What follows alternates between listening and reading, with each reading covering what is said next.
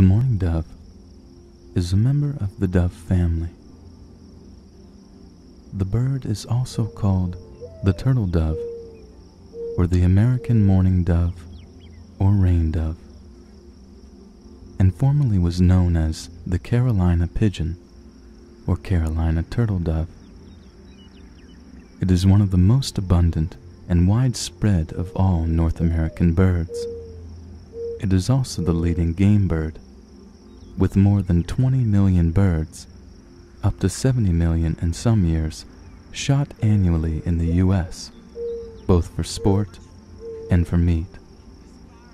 Its ability to sustain its population under such pressure stems from its prolific breeding. In warm areas, one pair may raise up to six broods a year.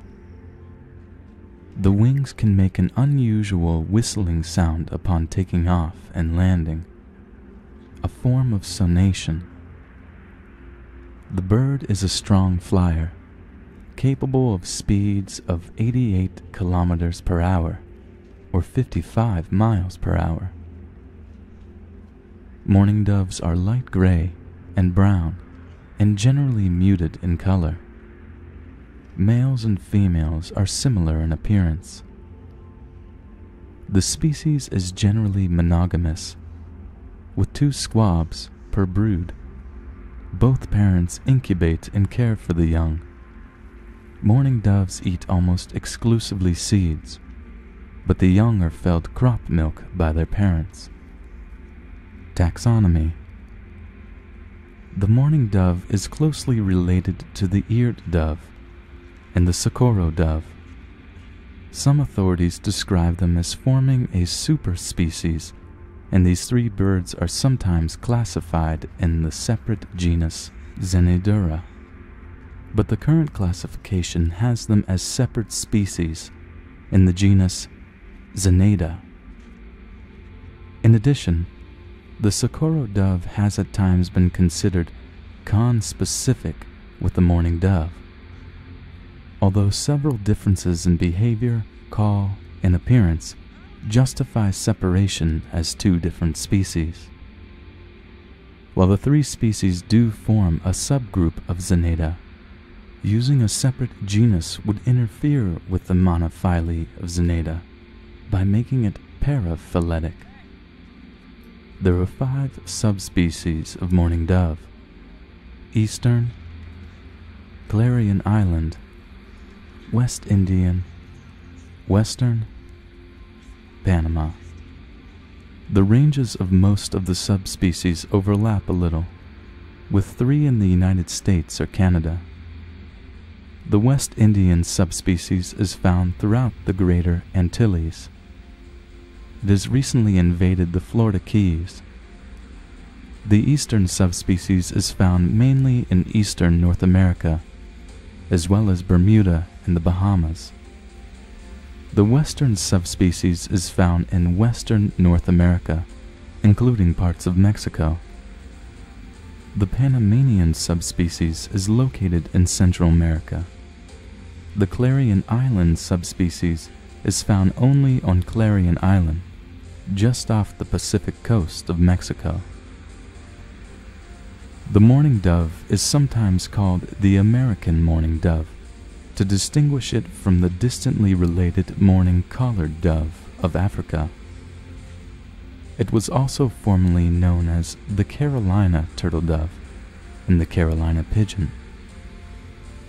The species specific name was bestowed in 1838 by French zoologist Charles L. Bonaparte in honor of his wife, Princess Zenada.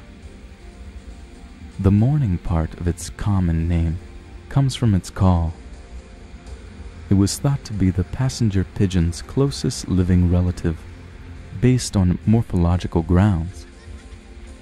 The mourning dove was even suggested to belong to the same genus, Ectopistes, and was listed by some authors as E.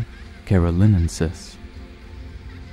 Distribution The mourning dove has a large range of nearly 11 million square kilometers, or 4.2 million square miles.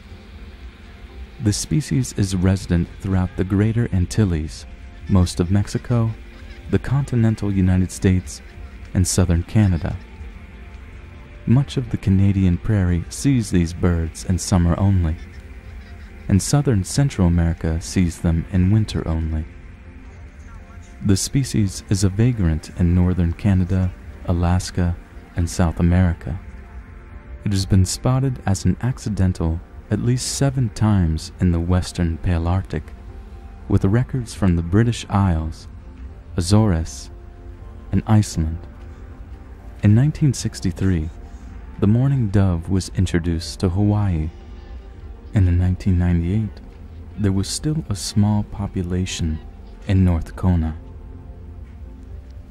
The mourning dove also appeared on Socorro Island off the western coast of Mexico in 1988, 16 years after the Socorro dove was extirpated from that island.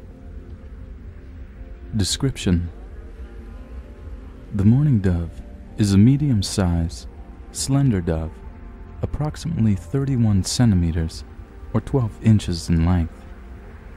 Mourning doves weigh 112 to 170 grams or 4 to 6 ounces, usually closer to 128 grams, 4.5 ounces. The elliptical wings are broad and the head is rounded. Its tail is long and tapered.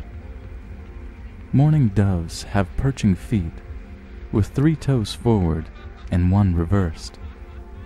The legs are short and reddish colored. The beak is short and dark usually a brown black hue. The plumage is generally light gray brown and lighter and pinkish below. The wings have black spotting, and the outer tail feathers are white, contrasting with the black inners. Below the eye is a distinctive crescent shaped area of dark feathers. The eyes are dark, with light skin surrounding them. The adult male has bright purple pink patches on the neck sides, with light pink coloring reaching the breast. The crown of the adult male is distinctively bluish gray color. Females are similar in appearance, but with more brown coloring overall and a little smaller than the male. The iridescent feather patches on the neck above the shoulders are nearly absent but can be quite vivid on males. Juvenile birds have a scaly appearance and are generally darker. All five subspecies of the mourning dove look similar and are not easily distinguishable. The nominate subspecies possesses shorter wings and is darker and more buff colored than the average mourning dove. ZM Carolinensis has longer wings and toes, a shorter beak, and is darker in color. The western subspecies has longer wings, a longer beak, shorter toes, and is more muted and lighter in color. The Panama mourning dove has shorter wings and legs, a longer beak, and is grayer in color. The Clarion Island subspecies possesses larger feet, a larger beak, and is darker brown in color. Habitat The mourning dove occupies a wide variety of open and semi open habitats, such as urban areas, farms, prairie, grassland, and lightly wooded areas. It avoids swamps and thick forest the species has adapted well to areas altered by humans. They commonly nest in trees in cities or near farmsteads. Migration Most mourning doves migrate along flyways over land. On rare occasions, mourning doves have been seen flying over the Gulf of Mexico, but this is exceptional. Spring migration north runs from March to May. Fall migration south runs from September to November, with immatures moving first, followed by adult females, and then by adult males. Migration is usually during the day in flocks and at low altitudes. However, not all individuals migrate. Even in Canada, some mourning doves remain through winter, sustained by the presence of bird feeders. Sounds The species call is a distinctive, plaintive,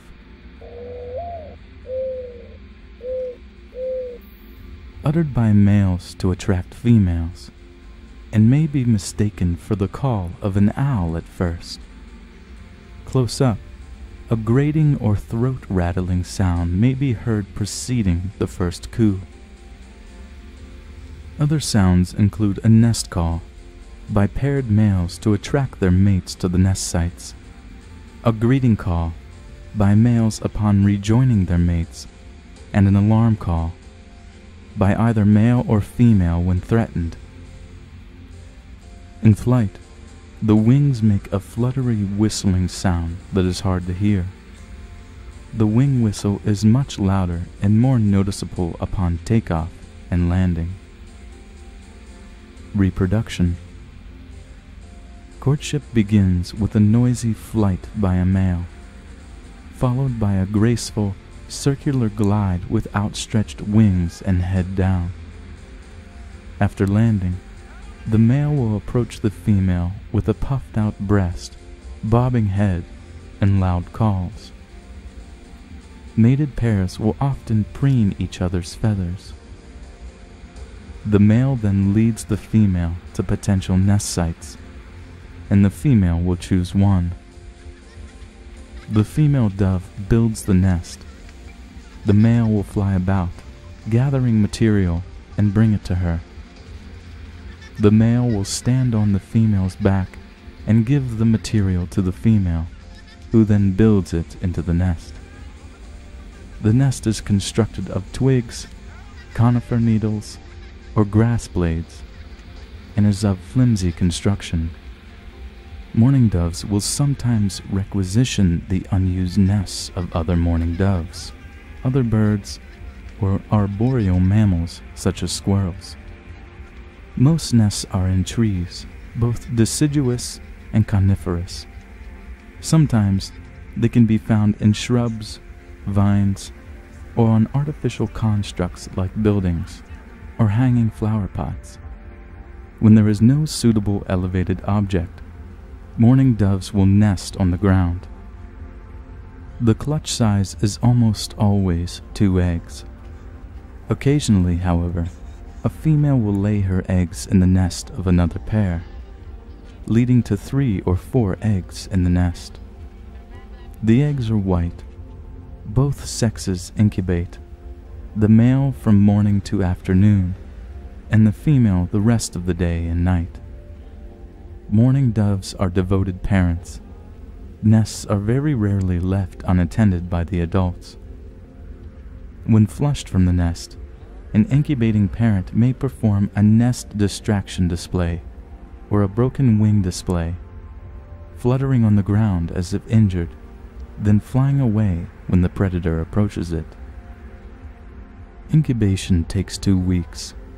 The hatched young, called squabs, are strongly altricial being helpless at hatching and covered with down. Both parents feed the squabs pigeon's milk or dove's milk for the first three to four days of life.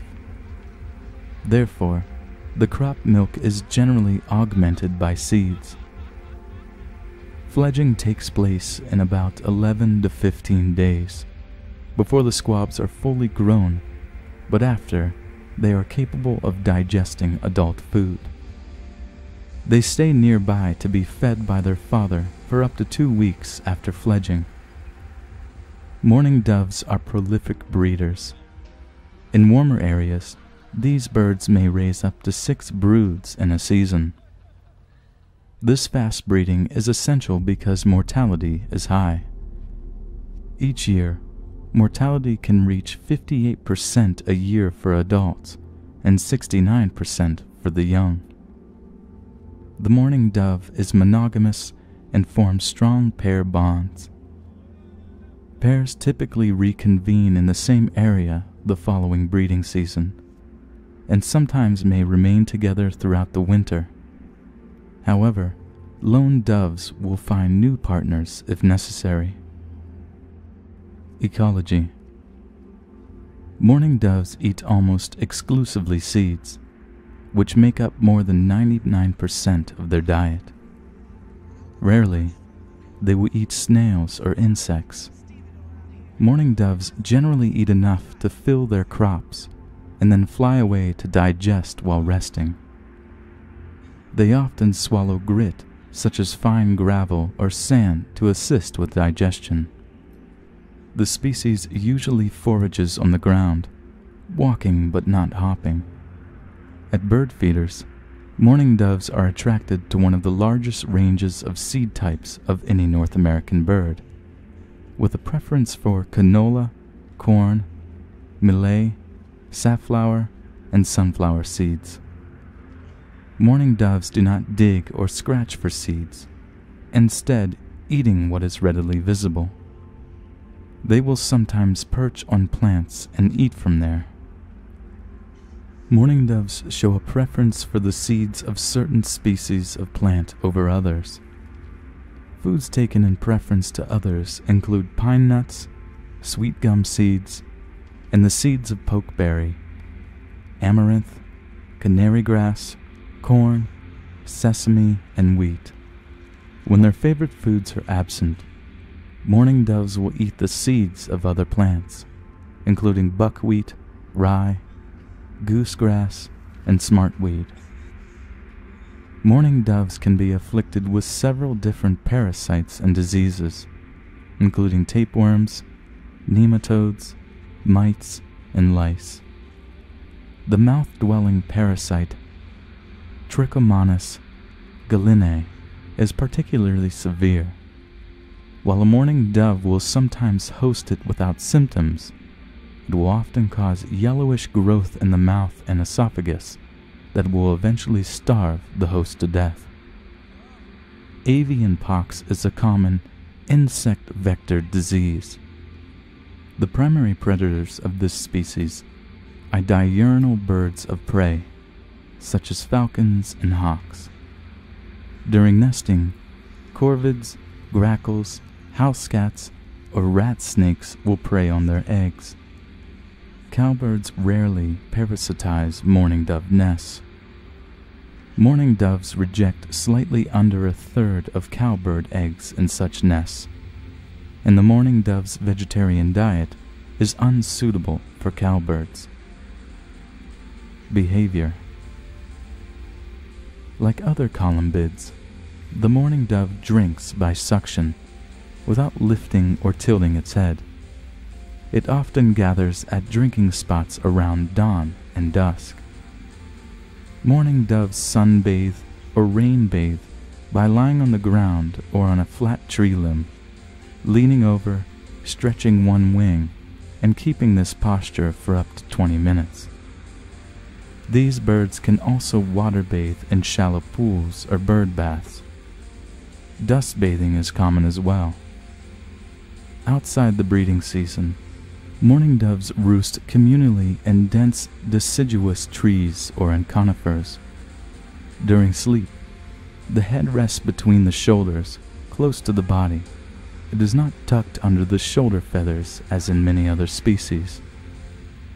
During the winter in Canada, roosting flights to the roosts in the evening and out of the roosts in the morning are delayed on colder days. Conservation status the number of individual mourning doves is estimated to be approximately 475 million. The large population and its vast range explain why the mourning dove is considered to be of least concern, meaning that the species is not at immediate risk. As a game bird, the mourning dove is well managed, with more than 20 million and up to 40 to 70 million shot by hunters each year. as a symbol and in the arts.